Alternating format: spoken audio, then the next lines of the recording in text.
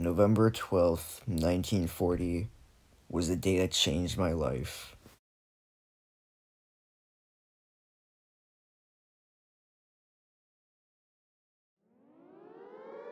Oh no!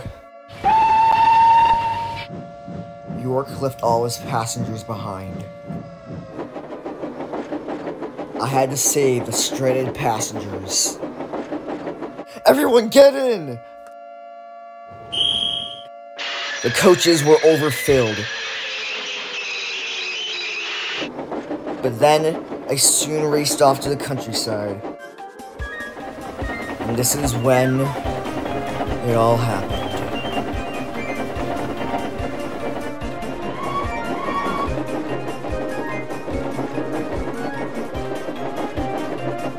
On the opposite line, Jackson was pulling a goods train. Wait, where's that bloody plane for crying out loud? Well, if there's no plane coming, then we should be alright. That plane was right behind us. I tried to warn Jackson, but it was too late. Jackson, quick, back up! Oh wait, what are you doing? Reverse! Wait a minute, there's a plane right there!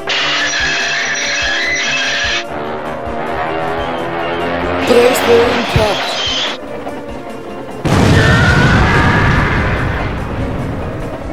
That plane would have its full attention on us.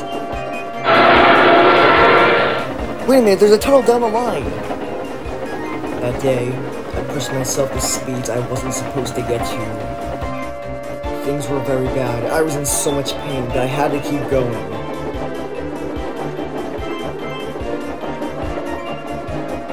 I kept going faster and faster until I finally reached 100 miles an hour. But just then,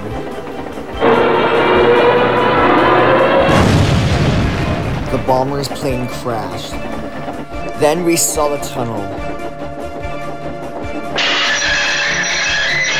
The weight of the coaches just kept pushing me on. But we were able to stop.